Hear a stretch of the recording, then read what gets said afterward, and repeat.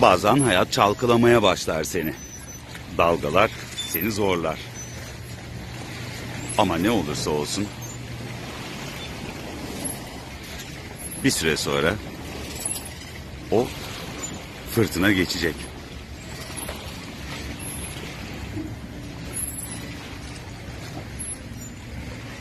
Ve sen yine yola devam edeceksin.